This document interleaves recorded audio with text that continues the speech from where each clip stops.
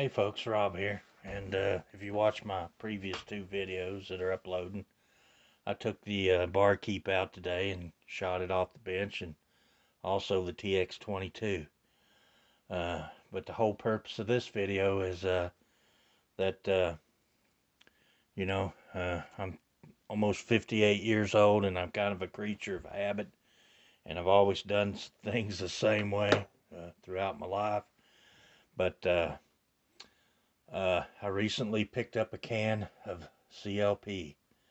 Now everybody um, brags about this and uh, how well it does. I, I, I have no idea about this stuff. I've never used it. I don't. I don't really, honestly, don't know how to use it. Do you use it like oil? Um, from what I read on the can, you spray it on, you know, a brush or something helps uh, break up the stuff basically wipe it off and it's lubricated. If I'm doing that wrong, then, uh, you know, chime in there and let me know. But uh, I thought I would move into the 21st century and try some of this stuff out and see how it runs, how it works, uh, see what all the hype's about. So anyway, our first gun we'll clean is our Heritage Barkeep, and uh, of course uh, these are these are empties from where I fired it earlier. And since I didn't bring my rod out, my little ejector rod, I'll have to do this. And I wanted to demonstrate this anyway. If you uh, forget your, and that's part of the, I've been meaning to do this and leave some in there. And, but if you're at the range and you forget your little poker outer, which is what I just did in the house, uh, you can take your ejector, uh, your cylinder pin, and you can push those right out. So your cylinder pin will work as an ejector uh, for your empties. Now, is it ideal to have to pull your cylinder out to uh, to remove your empties? Probably not, but you know, in a pinch, it'll work. So, anyway, I'm kind of glad I left them in there so I could demonstrate that. I'd been laying off to cover that for a while, and uh, but just hadn't never done it. So that actually works out pretty good. So from what I can gather, uh, you would basically do this just like you would maybe. I'm going to forego the Hoppe's. I'm not going to use the Hoppe's.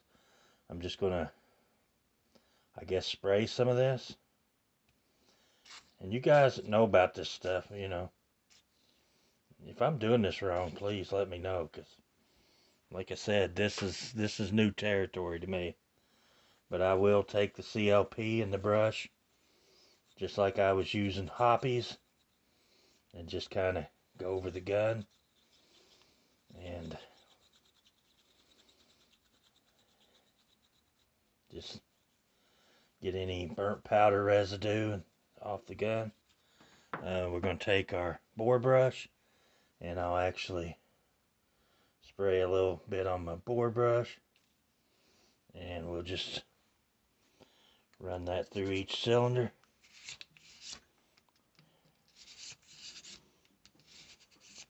Like I said I have never used this stuff so I this is uncharted territory for me.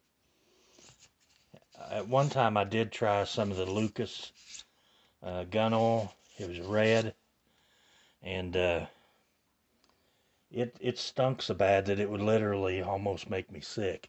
I don't know what it was about that uh, that gun oil, but it was uh, I could not stand the smell of it. It uh, had a smell that uh, actually made me nauseous. So with that, uh, we've uh, run our brush through. I'm gonna take a little, and I don't know, I may be using this wrong, but I'm gonna spray a little bit on this just to wet it down a little bit. Well, like I say, guys, you you guys that use this stuff, let me know if I'm doing this wrong.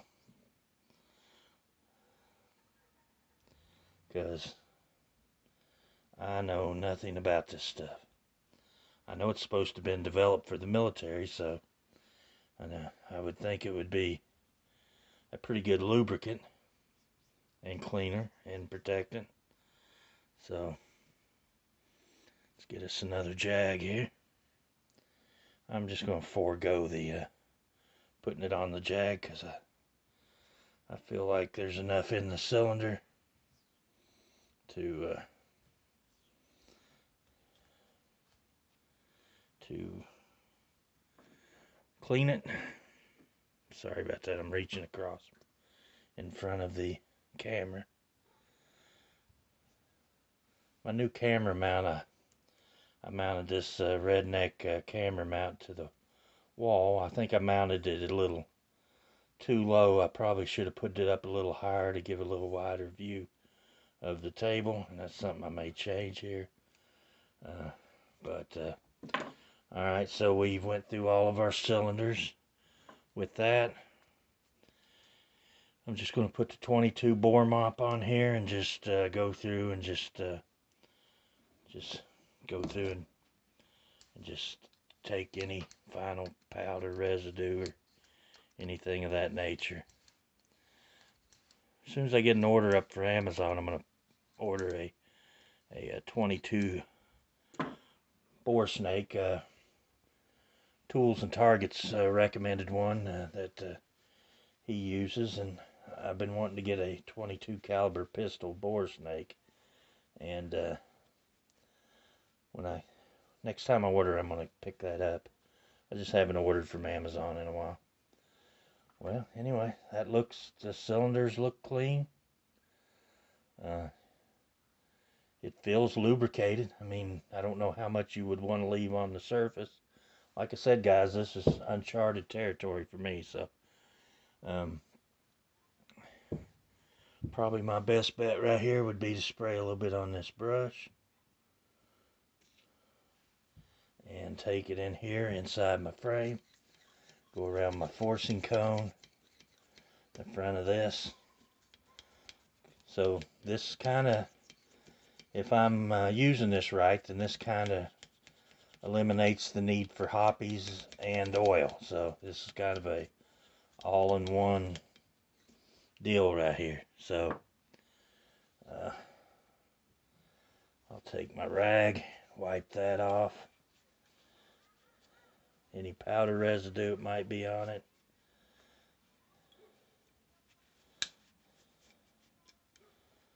And like I said, guys, I I know nothing about this stuff. This is this is uncharted territory for me. So you guys that use CLP forever, uh, chime in let me know if I'm doing this right.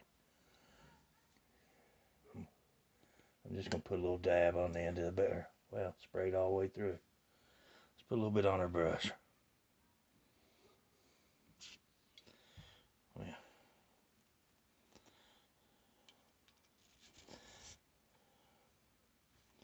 This is why I don't use, like a cleaning rod. But that's all I have right now. Like I said, I am going to order a uh, a bore snake for 22. It's been on my short list of things to get here lately. But between um, gun purchases and and uh, ammo and life in general, sometimes the uh, funds to order something as even as inexpensive as a bore snake is just has to wait a few days. So we're going to swab out our barrel. That looked like that took quite a bit of stuff off of it. We'll run our bore snake or our mop through. And we'll see if we can see down this bore. I don't know if you can see that or not. Let's put a something white in there. See if we can get some light down there and get y'all a look down the bore. Oh, I can see the rifling. Looks looks pretty clean. So Anyway, so we've got our cylinder cleaned. I'm going to wipe off this. I'll put just a little bit of this CLP on that rod. May just rub it in with my finger. We'll reinstall our cylinder. And reinstall our cylinder pin. Now, uh, do you use this as a lubricant as well? I mean, do you, it comes with this little nozzle. If I can get it out. Well,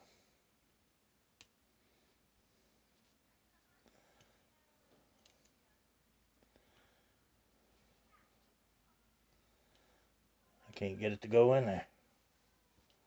Uh, there, maybe it went. So anyway,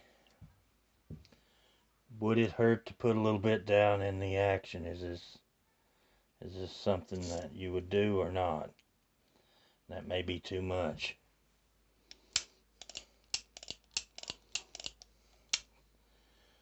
Because I do like to put a little bit uh, down in the action of the gun. Honestly, I should have put a little bit. Oh, I got plenty in there. There's, it's running out. Overdone a little bit. So I'm going to wipe some of this excess off and we'll just let her go at that.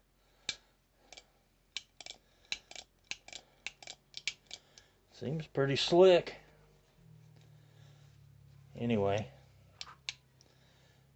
like I said, guys, this is, I have never used this. I have no idea how to use it and uh, if I'm using it properly or not. Am I using too much? I would think you need just a light coating. Anyway, so there is the barkeep cleaned with CLP. First time ever using it, guys. So, anyway, we'll set that aside. Now we have our Taurus TX22. We shot it today. Uh, I'm going to check it for make sure it is unloaded and safe. It is. Nothing in the chamber, no magazine. We're going to pull the trigger. We're going to pull back slightly, pull down on our tabs, take the cylinder off. So it's not really dirty. Um, I'm going to put just a drop. So I don't know how much of this stuff to use. I don't want to overdo it. I'm going to try to wipe the um, as much of it back off as I can. I just don't want to be like it was before when I overoiled and it, it wouldn't function because I overoiled it. So there's a light coating of the CLP on the frame. I'm going to wipe off as much as I can get off. Make sure to get back in here good around all these little springs and such like I said, this is, I don't, I'm not sure how much of this that you would want to leave on your gun. I know there are a lot of knowledgeable people out there who know a lot more about this, uh, this kind of thing than I do. And I'll be the first to admit, like I said, I'm a creature of habit. I've done things the same way for years. And uh, sometimes, you know, I'm just a little hesitant to change. But I will admit when, you know, if something's better, I'm all for it.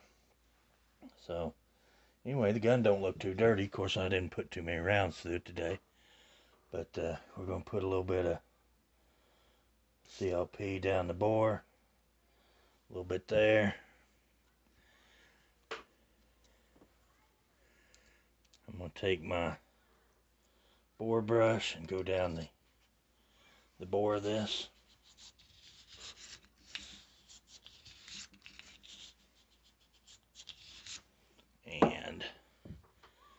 Sorry guys, I don't I don't mean to make these videos so long that they're they're boring and nobody wants to watch them. I know, but uh, you know, this is just me uh, learning, and uh, you know, like I said, I'm 58 years old, or almost, but uh, you know, I still learn stuff all the time. And uh, that's the beauty of YouTube is it's a, a great learning resource. And, you know, when I first started watching YouTube, it was to find out how to do things. I think one of the first times I ever watched YouTube, I had a problem with my uh, air conditioning unit, my heat pump, or the condenser, the outside unit of my heat pump. And uh, uh, I had a guy come look at it, and he uh, said I needed to replace the whole unit because the uh, it wouldn't it wouldn't uh, the compressor wouldn't kick in. So I went on YouTube and got to watching some YouTube videos. Come to find out, there's a there's a relay um, on your on your unit outside that uh, your starter relay, and if that starter relay goes bad, then your compressor won't kick in. So uh, it showed you how to how to check it to make sure if that see what that the problem was and and I did that and sure enough my my uh, relay on my unit was bad and uh, so I went out to a local place and and picked up the the relay it was like $15 and I took it home and watched a YouTube video on how to change it out and uh, my air conditioner running took off and started running again and worked perfectly after that. So uh, I had a guy trying to sell me on a several thousand dollar uh, unit that uh, that he knew I didn't need that I just needed a relay. So that's that was my first uh, delving into uh, YouTube was more or less just to learn about things that I had that I needed to work on or or needed some information on. And then it got to where, you know, I'd watch it if I was interested in purchasing something new or uh, I would see what other people had to say about it. You know, I rely fairly heavy on uh, other people's uh, reviews. Of course, there's hundreds of reviews on any one thing you want to you want to you're interested in, so you got to kind of you know, filter through them and you may have to watch you know, you may have to watch a whole bunch of videos in order to uh, come away with the uh, information that you really want or a consistent a consensus of what the uh, what the truth is because you know some people uh, some people profit from it so it's in their best interest to uh, tell you what they want to tell you just like the uh, guy that come to check out my air conditioning unit so and I look at that way about about firearms too. I mean, you got to uh, you got to kind of watch a bunch of videos and try to find uh, channels that you know or think you can trust to uh, tell you the truth about things. So anyway, I've uh, cleaned out the slide. It's got a got a coating of CLP on it. I'm gonna reinsert the barrel, reinsert the guide rod, and the spring, your recoil spring. And now here's a, a point. Do, do no, I'm not going to put any more CLP on that. I'm just going to let it ride. I think there's enough residual in there that, uh, and if I'm doing this wrong, let me know.